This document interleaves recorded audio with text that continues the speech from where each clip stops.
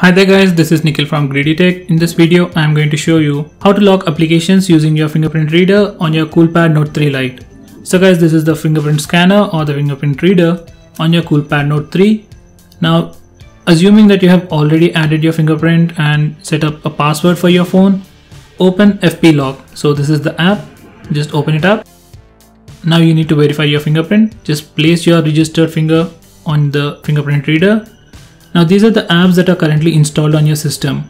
These are all unlocked and if you want to lock an application, let's say Video Looper, just click on this lock and it will turn green. So now to open the app, you need to either enter the password or verify your fingerprint. So one annoying thing that I found using this feature is every time you try to open the app, it will ask you for the password.